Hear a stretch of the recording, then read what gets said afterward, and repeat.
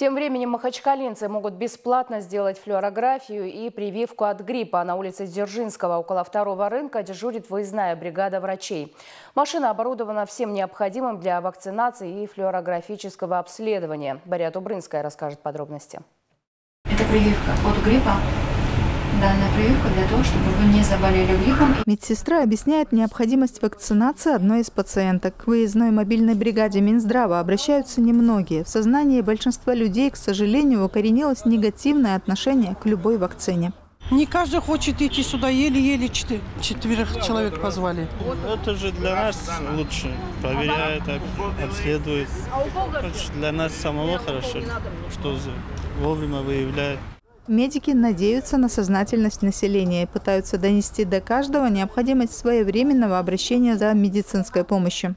Стараемся больше как бы оповещать людей, больше объяснять цель, цель вакцинации. Просто многие, как бы, вот человек первый раз пришла, она не знает.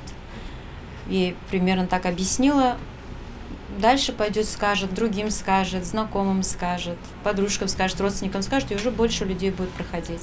Мобильная бригада предлагает не только вакцинацию, но и возможность сделать флюорографию здесь же, на месте. Минздрав решил проводить такие акции в местах наибольшего скопления людей. Это значит, у нас идет мероприятие, организовали с Минздрава, въездная бригада, значит, модельная бригада.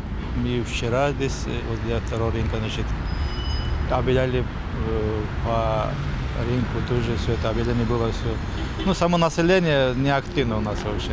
Особенно против прививок, они, у них многие такие негативные высказывания. У второго рынка на Дзержинского мобильная бригада работает с начала недели. В среду и в четверг выездная акция пройдет в районе Джума-Мечети, рядом с историческим парком. Бария Тубрынская, Ибрагим Магомедов. Время новостей.